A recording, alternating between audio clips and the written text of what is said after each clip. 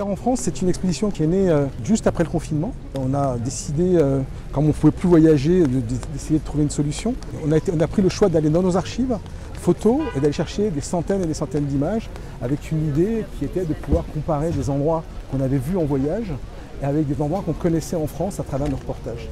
La France, c'est à la fois singulier et universel. Les atmosphères singulières nous amènent à nous ouvrir sur les autres et c'est un peu, me semble-t-il, l'objectif de ces correspondances.